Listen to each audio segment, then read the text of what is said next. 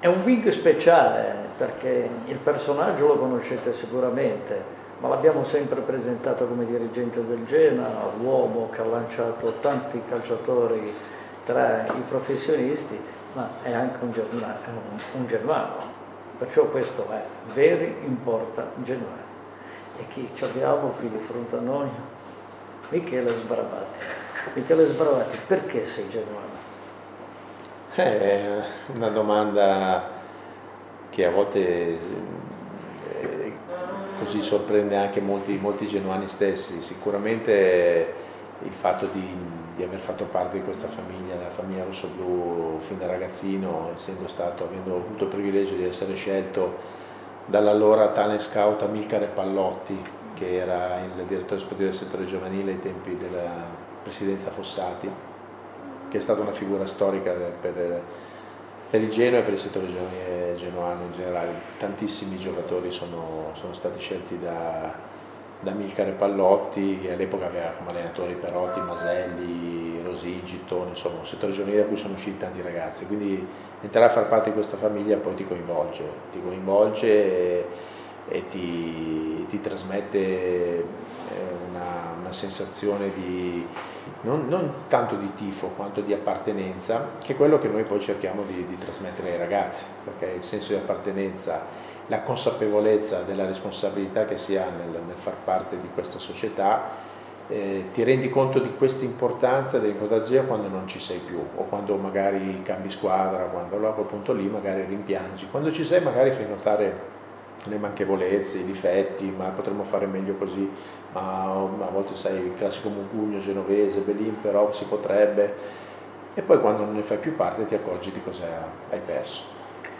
Michele, tu arrivi dalla Riviera di Ponente, mm. prima conquistato, oltre il Savona. No, no, ma noi abbiamo sempre avuto come... Vabbè, io non sono ligure, quindi sono, sono lombardo di nascita, quindi non vengo da una famiglia genoana, vengo da una famiglia di fede diversa, perché i miei genitori erano una mamma interista e un papà juventino, non, perché giustamente in Lombardia, soprattutto in Brianza, in particolare la fede juventina e oltre a quella juventina dei, dei, delle due squadre milanesi ovviamente la fa da padrone. Poi una volta inserito qua sicuramente c'è stata subito una simpatia, poi l'inserimento a 14 anni nel settore giovanile ha, ha prodotto questo, questo, affetto e poi negli anni il consolidamento di, questa, di questo senso di appartenenza. Ma cosa vuol dire per uno che arriva a parte dal settore giovanile, arriva a giocare in Serie A come è successo a te, in Serie B? Ma sì, i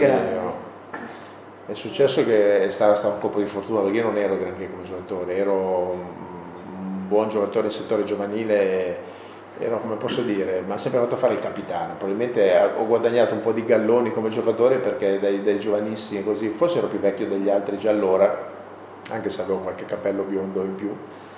e quindi così sempre sono sempre stato riconosciuto dai compagni, dagli allenatori come un ragazzo all'epoca e poi come un giocatore probabilmente di riferimento, forse più per gli atteggiamenti morali, per, per i comportamenti che non tanto per le qualità tecniche. Ero un buon giocatore, però ho fatto una carriera da professionista eh, normale, tra un po' di B, tanta Serie C, un po' di sfortuna con magari qualche infortunio grave a 22-23 anni che mi ha un po' conosciuto, però sai, molti dicono no, se non mi fossi fatto male sarei arrivato, invece io ti dico se non mi fossi fatto male avrei fatto poco più di quello che ho fatto, non è vero, non è un alibi. Con chi giocavi quella famosa squadra? Eh, noi avevamo che una io, bella... io, se non sbaglio, ti ho visto anche debuttare al Ferrari. Sì, no, io ho debuttato al Cibali di Catania in un 4-1 dal primo minuto con una doppietta di Fiorini, e gol di Simonette e Benedetti, se non sbaglio. In quella squadra c'erano anche Chiappino, Picasso, Rotella, Eragno era una, un'infornata di giocatori bravi, qualcuno più bravo di me sicuramente, e, altri che hanno fatto anche la Serie C. Abbiamo, nella primavera c'era Gagliardi in porta, adesso è preparato dei portieri del Genoa. No, noi abbiamo avuto la fortuna di avere degli insegnanti molto bravi, Perotti e Maselli sono stati dei, degli esempi straordinari, Mainetto, eh, Rosine e tanti altri, insomma. E devo dire che eravamo tutti di Genova, eravamo tutti ragazzi, salvo qualche d'uno che già il buon Gino Bondioli all'epoca portava da Latina, come Simonetta, come come Somma ed altri ragazzi che poi sono Sgro, che poi sono saliti alla ribalta del calcio italiano. E del Genoa cosa ti è rimasto impresso? Genoa squadra, Genoa risultati, perché tutti parlano di Liverpool, però uno come te essere che ci abbia qualche cosa di diverso dentro. Allora, io mi ricordo Lino il vecchio Marassi, cioè il vecchio Marassi, quando noi abbiamo giocato, io avevo esordito lì a Catania, poi abbiamo fatto questa partita, seconda gara di campionato, siamo stati confermati in casa con l'Arezzo, una partita Marassi con l'Arezzo, sotto la pioggia, era una partita di Serie B normalissima, era l'anno di Burnic, Tarcisio Burnic ci fece esordire noi.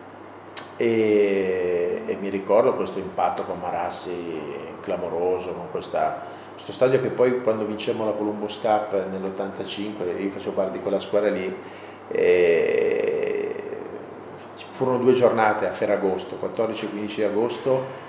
con 40-45 mila spettatori. Giocammo contro il Milan, se ti ricordi, il primo Milan di Berlusconi con l'idolo in panchina, la semifinale, poi la finale, scusa, la semifinale con la Sandoria di Boscov e poi la finale col Milan, la quarta squadra era l'Argentino Junior, era un era la Columbus Cup in commemorazione no, delle Colombiadi, cioè le Colombiadi, no? era l'86 se non sbaglio. E ti dico, 45.000 persone a Vecchio Marassi non, non riuscivi. Mi ricordo che parlando con Testoni e Trevisan, cercando di parlarci in campo per dare indicazioni, no, spostati di qua, metti di là due metri, non riuscivamo a parlarci perché non ci si sentiva a 5 metri di distanza. Incredibile. Eh, il Ferraris ha sempre fatto la differenza sta facendo la differenza anche in questo momento, dopo subito dirigente. Settore giovanile, sì, a dopo... poco a poco, adesso... Anche allenatore, di... prima allenatore, prima allenatore sì, allenatore di, per tre anni dei giovanissimi, della categoria giovanissimi, con eh, giocatori come Sciarauri, Sturaro ed altri che hanno fatto poi professionisti. E poi il ruolo la società decise di, di, affiancare alla figura del direttore sportivo della Prevera un responsabile del settore giovanile, io ho preso il posto di Lorini, credo, eh, no, di Landini, Spartaco, che poi torna a fare direttore sportivo, parliamo del 2006. E Spartaco Landini. Spartaco Landini, sì, io amichevolmente dico Spartaco per l'amicizia. E, e, con Mario si creò questo, questo binomio perché poi si si creò una situazione che Mario poi hanno, Donatelli. Mario Donatelli, sì, giustamente ha ragione, meglio dire Mario Donatelli che poi adesso è direttore sportivo della prima squadra, lui si occupava in particolare della primavera, poi ci hanno invitato in tante altre società, una volta c'era un responsabile del settore giovanile unico, invece poi molte squadre hanno adottato questa, questa diarchia, diciamo così, questo binomio con eh, col doppio responsabile e così abbiamo iniziato il percorso. Senti, eh ne parleremo mercoledì abbondantemente prossimo. Non ti sei arreso, sei andato via dalla sciorba, hai fatto Begatello, lo possiamo chiamare Begatello, mm. Milanello, vabbè, ti sei impegnato fino alla morte per riuscire a fare questo Begatello che sembra che sia veramente un piccolo gioiellino solamente un annuncio, dopo abbiamo finito perché dopo lo riprendiamo mercoledì. Sì, no, allora innanzitutto io c'entro poco, i meriti di, del nuovo centro sportivo di Begato sono soprattutto del Campo Morone, di Alessio Vernazza, del suo, dei suoi uomini, del suo staff, perché eh, io sono stato partecipe un po' di, di, quelle che erano le idee di Alessio su come rinnovare il centro sportivo di, di Begato 9, bello tra l'altro, è stato un bel lavoro, lo vedrete e questo va a compensare la perdita della Sciorba, che è una perdita grave, è una perdita che, mi ha, insomma, che ci ha toccato tutti particolarmente perché l'impegno... Tra l'altro con la caduta del ponte... Sì, no, la, la Sciorba è stata un salto di qualità enorme per noi negli anni scorsi, perché dai primissimi anni in cui io facevo l'attività di base veramente eravamo in grande difficoltà. La, la Sciorba ci ha dato grande impulso, grande visibilità, siamo diventati attrattivi, siamo diventati come posso dire, eravamo anche più rispettati in generale quando ospitavamo le squadre e quindi la perdita della Sciorba è, stata, è stato un bel colpo, un brutto, cioè un, brutto, colpo per noi, per tutto il movimento giovanile. Quindi, eh, questo anno e mezzo è stato difficile, poi c'è stato, ci sono stati gli eventi del ponte che hanno ulteriormente complicato la viabilità e la mobilità dei ragazzi, delle famiglie, infatti meritano un grande applauso i dirigenti, molti dirigenti volontari, i nostri allenatori e soprattutto le famiglie, i genitori che, che non, hanno perso fiducia insieme a noi, hanno tenuto duro e adesso possiamo dire di poter ospitare la nostra attività di base, la nostra scuola calcio in, una, in una struttura adeguata tanti giocatori che sono diventati professionisti, che sono passati sotto di voi, però tutti i giorni quando apriamo il giornale il Genoa è sempre in prima fila per questo settore giovanile. Adesso ci sono tre giovanotti under 15 convocati con la nazionale. Sì, prosegue un po' la filiera. Eh, I convocati nazionali sono un bel, una bella gratificazione però la cosa più importante, come abbiamo detto anche in passato, è che durante la gestione preziosi eh, ci sono oltre 130 ragazzi che hanno raggiunto il calcio professionistico, quindi che hanno, fatto, hanno coronato il loro sogno di fare del calcio la loro professione. Poi in questi 130 c'è chi lo fa da 10 anni, chi, fa, chi l'ha fatto per 5, per 6, chi ha raggiunto uno stipendio da 2.000 euro al mese, chi l'ha raggiunto da 200.000 euro al mese, eh, chi gioca in Serie A, chi è arrivato in nazionale, eh, insomma ci sono tanti, tante gratificazioni, tante cose belle e devo dire che comunque anche chi non ce l'ha fatta, a parte che 130 sono tanti, perché sono 13 anni dell'era diciamo, del Presidente Preziosi della nostra gestione del settore giovanile e sono una media di 8-10 all'anno che sono tanti. Di questo una trentina di Liguri, anche per smentire no, il detto che in Liguria non si fanno calciatori perché le colline sono troppo vicine al mare e quindi i calciatori non se ne fanno, invece ci sono 30 liguri che sono riusciti a diventare professionisti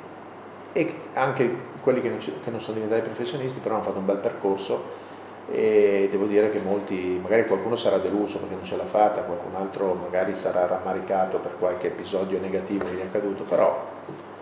eh, molti altri che non ce l'hanno fatta, che magari lavorano, hanno trovato uno sbocco nei dilettanti, i giovani dilettanti hanno trovato anche lavoro, credo portino un, un bel ricordo al nostro settore giovanile. Michele, qui abbiamo con noi Alessio Semino che ha fatto un bellissimo pezzo perché è di moda, sono di moda i giocatori polacchi. E lui ha scoperto che Bonia, che quando è stato eletto presidente della, della federazione polacca, ha deciso che giocano solamente due stranieri in, una formazione e tutti gli altri sono polacchi, sei d'accordo? Allora, eh, questo è un argomento che, che, abbiamo toccato anche un po' di anni fa. Eh, io provocatoriamente, no provocatoriamente, era la mia idea e rimango di quell'idea che il fatto di avere tanti italiani nel settore giovanile, tanti ragazzi magari cresciuti in casa, possa portare le nostre nazionali, il nostro club Italia e quindi anche la nazionale maggiore ad avere maggiori benefici poi in sede di selezione e quant'altro. Adesso eh, dobbiamo un po' trovare un buon compromesso perché qui effettivamente il numero degli stranieri è elevato e ce ne sono veramente tanti, però eh, questo, le regole sono queste, cioè non le puoi impedire, dopo la comunità europea è questa, poi la possibilità del mercato del mercato allargato ha portato le società italiane anche probabilmente a fare degli affari economici eh, migliori, no? poi ci sono tanti stranieri che sono esplosi, altri che poi i costi magari possono essere differenti, questo magari è un argomento che non tocca direttamente il nostro, eh, il nostro campo che è quello del settore giovanile, però credo che per esempio una, eh, non dico un'obbligatorietà, però mettere dei limiti alle rose con un determinato numero di italiani parzialmente se già è già stato fatto, però incrementarlo ancora, cioè per esempio in Serie D c'è l'obbligatorietà di quattro giovani, mettere nelle rose dei campionati italiani, anche di Serie A secondo me, qualcuno dice le, so le società si indebolirebbero e perderebbero di competitività, secondo me no, perché ogni società italiana avendo la possibilità di far giocare adesso che ne so, mi viene in mente Sturaro, rientra a Genoa, rientra al Genoa diventa uno dei 4-5 di puro settore giovanile. Sturaro magari vale più o meno, probabilmente di più anche di, un, di tanti centrocampisti stranieri che sono arrivati in Italia negli ultimi anni. Mimmo Criscito è un altro esempio, quindi alla fine se tu hai la possibilità di poter avere sotto input federale o l'obbligatorietà a questo punto 4 o 5 italiani cresciuti nel tuo settore, secondo me, dopo un'opportuna esperienza fatta in giro, condizionerebbe anche le scelte dei direttori sportivi, no? perché a quel punto il direttore sportivo di Serie D cosa fa Lino? Sceglie prima i quattro giovani e poi sceglie i vecchi, no? perché dice se non abbiamo i giocatori in quota non possiamo farlo. Michele, l'ultima domanda anche una soddisfazione Zanimacca perché è andato in prestito alla Juventus, adesso per mandare Sturare a Genova la Juventus vuole riscattare totalmente Zanimacchia. Eh, Luca da noi non ha fatto proprio il percorso del settore giovanile, è arrivato già in primavera, però ha dimostrato subito le sue qualità, tra l'altro